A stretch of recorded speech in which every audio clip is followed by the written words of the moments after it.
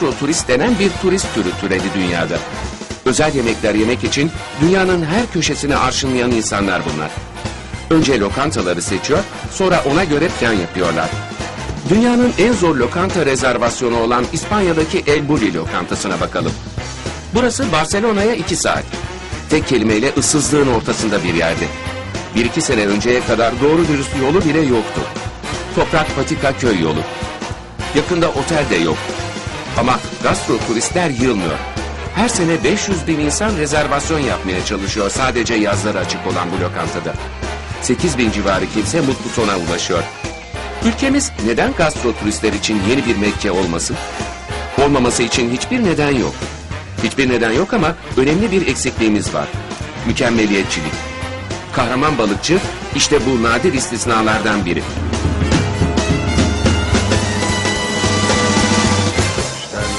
Merhaba, hoş bulduk. Nasılsınız? İyiyim, siz nasılsınız? Çok teşekkür ederim. Hoş geldiniz.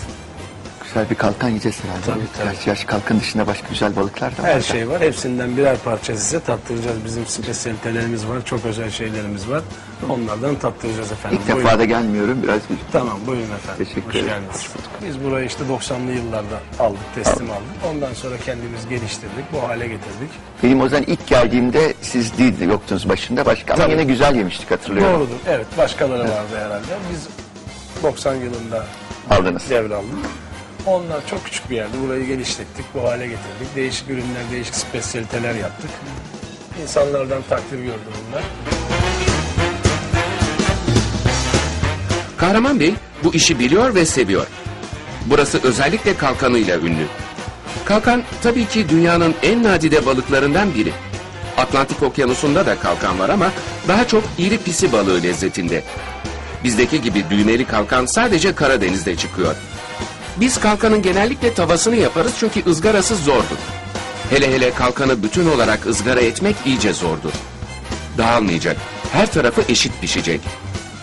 Burada kalkan adeta demlenmiş. Ağır ağır pişmiş ve is kokusu içine sinmiş. E, İlk olarak ben kendi adıma ve özellikle NTV adına teşekkür ediyorum. Rica Çünkü ederim. anladığım kadarıyla ilk defa bir çekim oluyor burada Evet, galiba. evet efendim. Bu şans bize oldu. Evet efendim. Teşekkürler. Aynen. Rica ederim, rica ederim. E, Şimdi siz e, güzel bir şeyler hazırlayacaksınız eminim Evet, ama konuşmadık. Ne, ne- neler gelecek önümüze? Şimdi bizim e, bizim dükkanımızın spesiyalitesi kalkantandır. Çok ağır bir ateşte e, odun ateşiyle beraber sönmüş bir külde pişiyor balık. Buranın spesiyalitesi insanların rağbet ettiği işte kuyruk oluyor cumartesi pazar. Bunu yapıyoruz ve bir de bizim Karadeniz'in iskorpiti çok özel bir iskorpiti. O gene benim kendi geliştirdiğim. Zaten buradaki her şeyi ben kendim geliştiriyorum. Zaman harcıyorum. işte yanılma deneme yöntemiyle bakıyorum nasıl oluyor kendim yiyorum. Ben iskorpit dedin, bayılırım. İşte iskorpit yemek için Fransız yiyorum. Raskas diyorlar. Yemeğin asıl balığıdır biliyorsunuz. Evet. O kaya balığıdır. Evet. Dip balığıdır. Çok lezzetli. O zaman e, siz artık Fransa'ya gitmeyeceksiniz. İskorpiti burada yiyeceksiniz. Fransa Çünkü- başka şey için. Başka şey için evet. E, çünkü burada Karadeniz'de çıkan balık, Karadeniz'in iskorpiti Evet. zaten kalkan sağ da Karadeniz'de oluyor biliyorsunuz.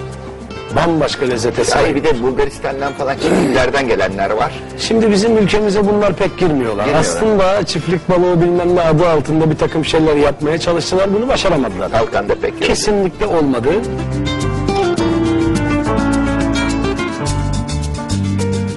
Ben gene kendi yaptığım sistemde bir ızgara yapacağım. Birer parça ondan, birer parça iskorpitten hepsine bakacağız. Peki. Teşekkürler. Rica ederim. Siz aynı zamanda da galiba mutfakta da çalışıyorsunuz. Ben e, benim işim mutfaktır. Ben kesinlikle e, burada 12 saat, 24 saat iş var. Ben saat 12'de mutfağa girerim, ürünümü takarım. Bütün insanlara giden ürünleri kendim yaparım, kendim bakarım, her çıkanı denetlerim. Hepsi benim elimden geçer. Salataların sosunu kesinlikle ben yaparım.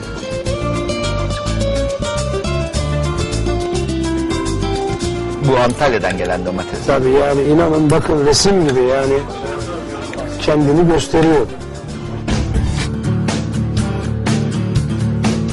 Şimdi ben sizin tabağınıza iskorpiti şöyle bırakıyorum. Teşekkür ederim.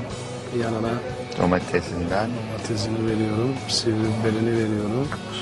Bir iki parça közde bu Lütfen. soğan.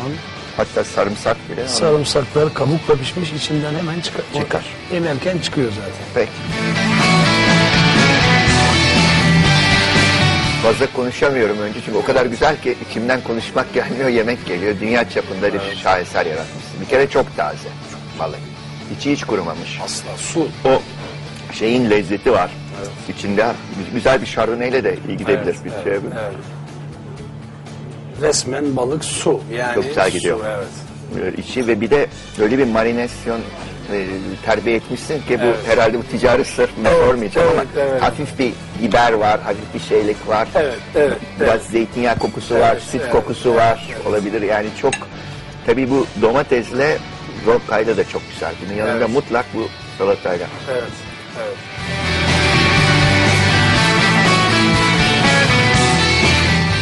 Bir de Kahraman Bey rokkalarda da lezzet kalmadı. Bu lezzetli. Şimdi şöyle bir şey var. Bu roka bizim burada yetişen roka. Yani köyde burada arkada küçük köyler var. Gümüşdereler, Kilyos, şuralar burada. Oralarda bahçeler var. Bak, Bizim dostlarımızın yetiştirdiği rokalar.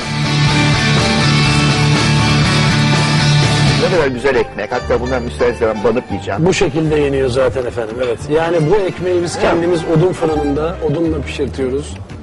Yani bu enteresan bir ekmek. Yani bu o kadar güzel bir ekmek ki katkısız, harika bir ekmek. O kadar zor bir şey mi güzel ekmek bulundurmak lokantada? İşte işinizi sevmeniz gerekiyor. Kendiniz isteyerek biz kendimiz yapıyoruz ekmeğimizi.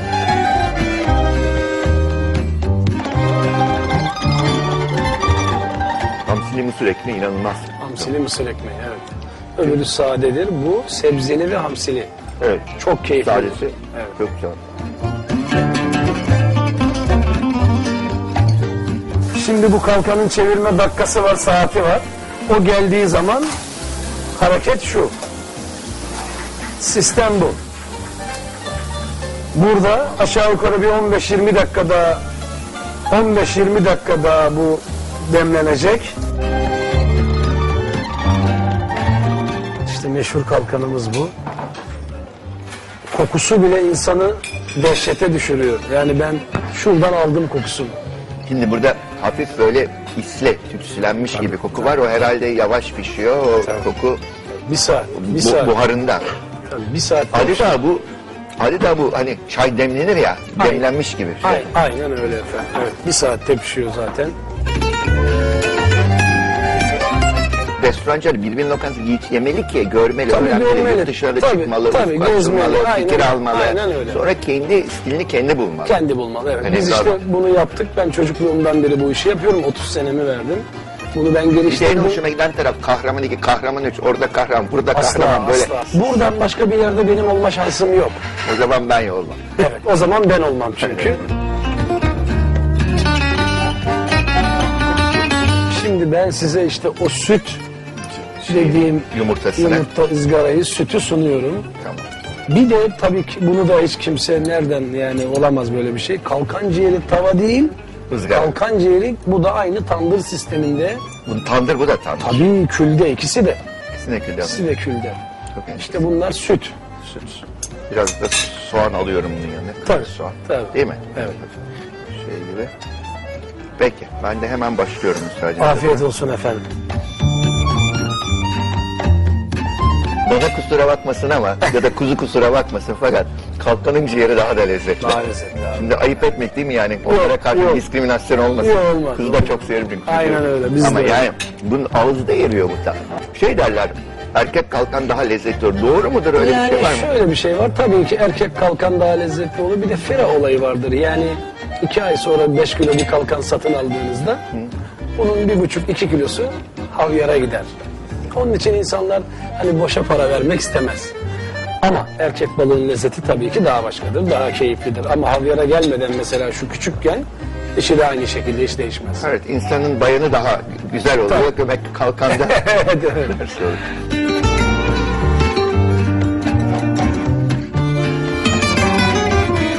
Valla kalkanın yanağı kadar güzel olan benim sevgili kızım Ceylan'ın yanağı diyebilirim. Onu da böyle görünce içimden geçiyor. Bu şeyde bu e, bir de kalkan yanağıyla.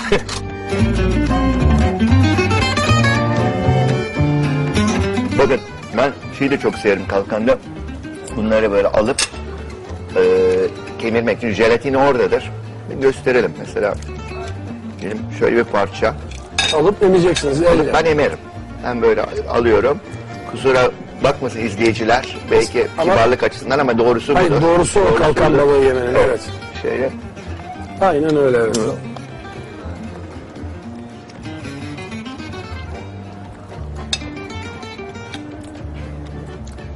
Dümen, çünkü jelatini en güzel kısmı, jelatin kısmı buradadır. Yani en çok lezzetli. Evet. Jelatin mi diyor bence? Evet jelatin yapışır. Evet. En çok omega 3 olan balık budur. Çok kuvvetli bir balıktır. Yani dünyada bu ızgara konusunda e, spesiyalize olan lokantalar var. Mesela İspanya'da bir lokanta var Bask bölgesinde. E, Eşebari diye dünyanın en büyük ızgara ustası sayılıyor. Evet. Ve bütün dünya gurmeleri oraya yani tam bir e, kö- köye e, akın ediyorlar. evet, Evet, akın evet. ediyorlar. Yani ve e, burası da o Bizim düzeyde o şey. öyle. Yukarı daha hafif. Bunda tavada yağ lezzetini de alıyorsunuz tavada. Ya bir yerde kendi lezzeti o kadar güzel ki hiçbir koltuk değneğine ihtiyacı yok. Burada tam doğal lezzetiyle Evet, daha da evet, muhteşem. ızgara evet efendim. Daha bile muhteşem ama öteki çok güzel tabii. Evet.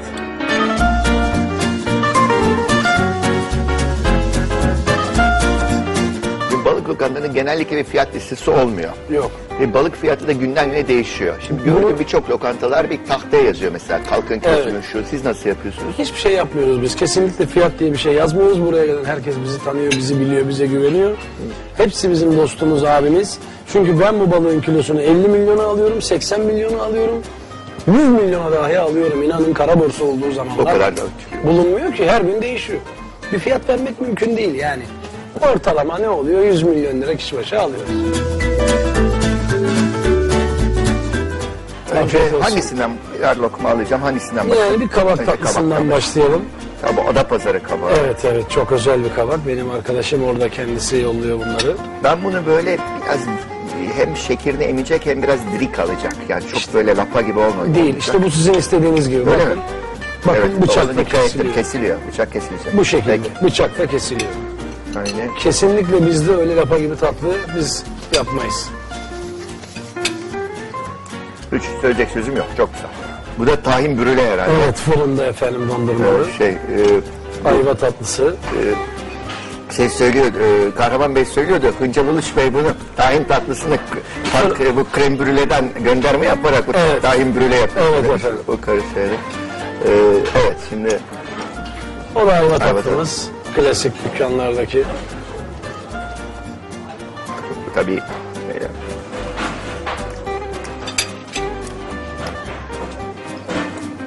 ayva lezzeti geliyor. Bazen çok mu pişiriyorlar, çok mu şeker koyuyorlar? Ayva deyince şimdi bu tatlı güzel tarafı Evet.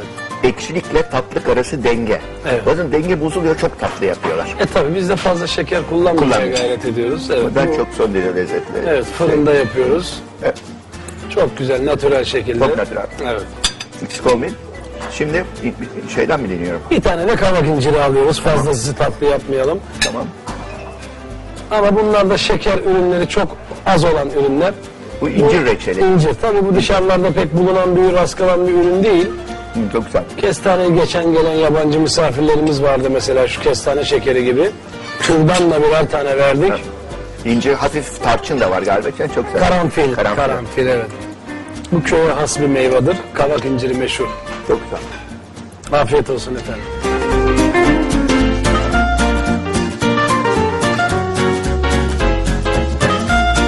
Her şey hakkını vererek hazırlanmış. Zaten balığın en güzel olanı doğal olanı. Çok fazla bir şey yapamazsınız balığa. Burada gerçek lezzeti alıyorsunuz. Bunun dışında adam gibi peçete kullanıyorlar. Masalar güzel. Mekan fazla iddialı değil. Olduğu gibi. Gerçekten insan burada yaşamakla gurur duyuyor. Kahraman Spice Market'a göre şanslı. Lezzet bakımından Vedat Milor'dan tüm yıldızları topluyor. Ancak ambiyans ve fiyat kalite açısından yalnız 3 yıldızda kalıyor.